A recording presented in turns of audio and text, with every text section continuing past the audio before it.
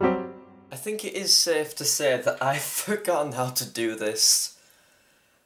Ugh.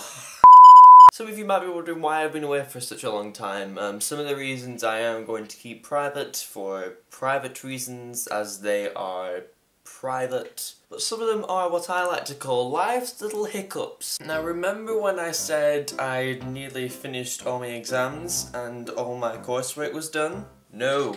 No, no, no. Big doo-doo in the middle of no. And then, then, then my computer broke, so I could not make anything.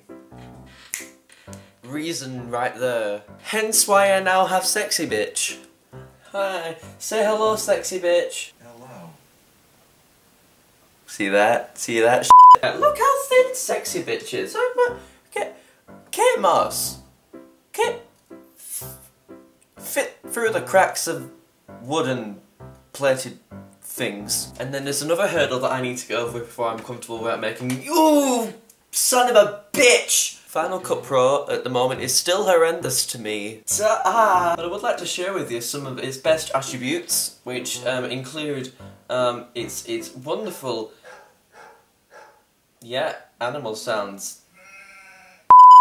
What else is new? Oh yeah, I went to Summer in the City a couple days ago, which was really, really, really fun.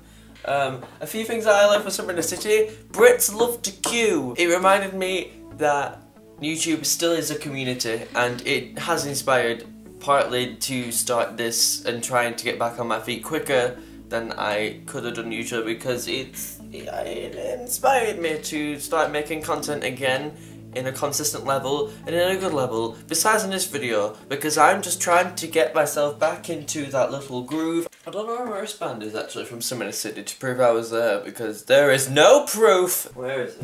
Where are you wristband? Where's the wristband?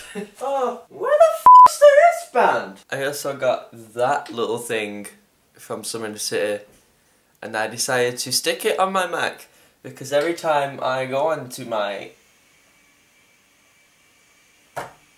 Are you serious? Because every time now I go onto my mic, I am constantly reminded that I am part of that um, website. And then I look at it and and I go, oh, you again.